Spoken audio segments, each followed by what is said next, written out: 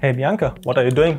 Hey Jan, I'm checking dongles. So you see we have here imprints of IDs on the dongle and also ones on the back. They should match and afterwards I have to scan the IDs in an Excel file. Ah, okay, you're doing the qu uh, quality control? Yeah, that's right. Phew, that sounds tedious. It is.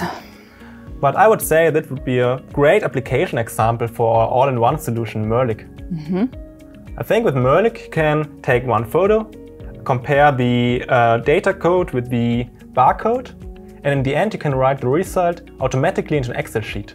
That sounds promising. Can you show me? I would love to show you, but instead of the scanner, we will need a camera and a light. Would you come with me? Yeah, great.